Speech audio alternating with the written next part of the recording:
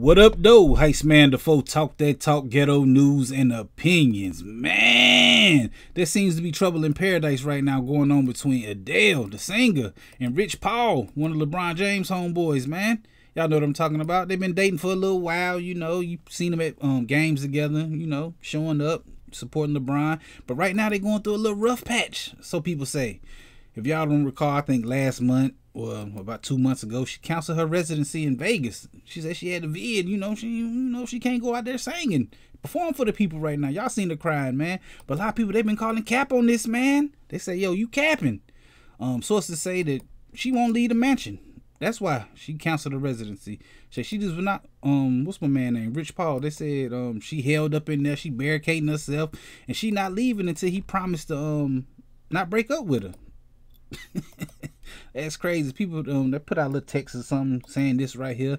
I don't know the whole thing. To Adele is staying at Rich's house in Beverly Hills, just trying to fix their relationship because things have become strained. They barely saw each other at the beginning of the month because it was away from work. He was away from work, and she was trying to focus on the Vegas show. Y'all see this stuff, man. I just want to know: Does she got squatters' rights? Can she like? Can she hold herself up in there?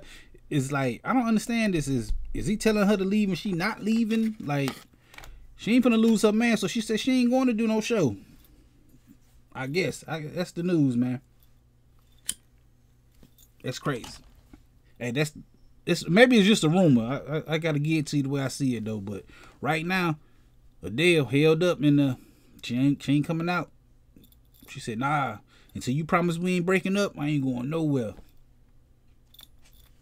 we definitely gonna be talking about this Friday right here on this channel because I go live every Friday talking about stuff just like this. You just gotta come through and holler at me, man. Hit that like button, the comment button, the share button, the subscribe button, the notification bell, all them good buttons you gotta hit to get this pimping that I'm putting out when I put it out. And like I said, I go live right here on this channel every Friday at 9 p.m. Come through and hi- hey, my dog barking. Be quiet and holler at your boy, Heist Man Da Foe. Talk that talk, ghetto news and opinions.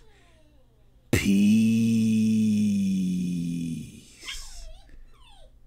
Coming, boy. Be quiet.